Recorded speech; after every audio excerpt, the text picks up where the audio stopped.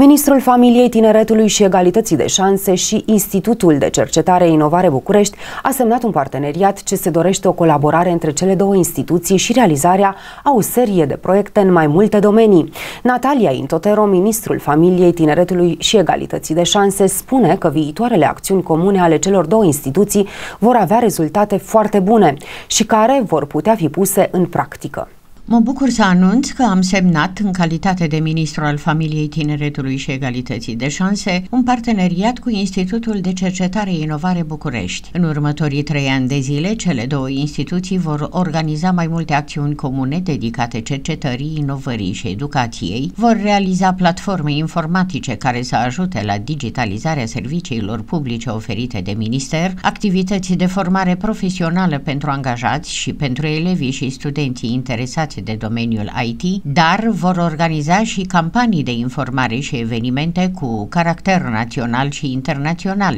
Institutul de Cercetare și Inovare București a fost înființat acum 54 de ani și reprezintă cel mai important institut din domeniul cercetării, dezvoltării și inovării în tehnologia informației și comunicațiilor din România. Rezultatele cercetărilor sunt transferate în domenii precum e-guvernare, e-learning, e-sănătate, sănătate, e-incluziune, e-cultură, bioinformatică, protecția infrastructurilor critice, energie, mediu și dezvoltare durabilă, aplicații pentru administrație, industrie, IMM-uri și agricultură, arată Natalia Intotero, ministrul Familiei, Tineretului și Egalității de Șanse.